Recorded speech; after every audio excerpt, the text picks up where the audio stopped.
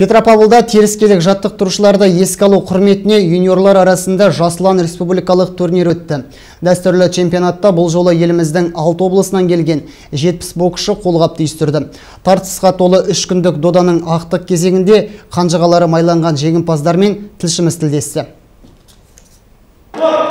Бірінші болып шаршы алаңда 42 келі салмақ дәрежесінде Имран Исраилов пен Никита Жиров қолғап түйістіруде. Жерлес боксшылар алғашқы раундтан ақ бір-біріне жойқын соққыларын артып, барынша ұпай жинауға тырысты.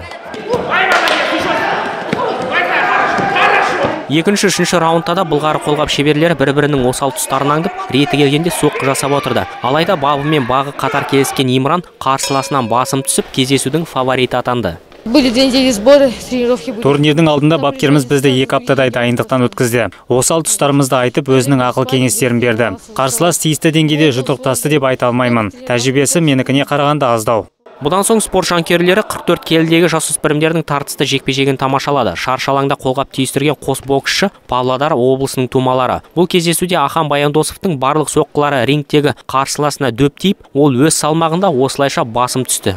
осы спортпен төрт жыл айналысамын осы спортқа мен әкем алып келді. Қарсыласымды бұрыннан білемін жақсы сөйлесеміз. Алдағы мақсатым э, өзімнің э, жасөспірімдер арасында э, азия чемпионатына түсу. Жеңімпаз болу спорт шебері атағын орындау. Жалпы юниорлар арасында Жасылан республикалық турнирінде 42-ден 75 келіге дейінгі салмақ дәрежесінде 13 жұп қолғап түйістіріп шеберліктерін көрсетті. Турнир проходит среди юниоров 2000. турнирде 2002-2003 жылы туылған қатысушылар 14 салмақ дәрежесінде жұдырықтасуда чемпионатқа еліміздің ақмола павлодар қостанай қарағанды атырау өңірлерінен және жергілікті спортшылар жиналды жалпы саны 6 құрама Жарысты ұйымдастырушылар өз салмағында жеңіске жеткен боксшыларды марапаттап медаль мен кубок табыстады. Бақыт Садуақас, Михаил Казначеев, муниципалдық телеарна.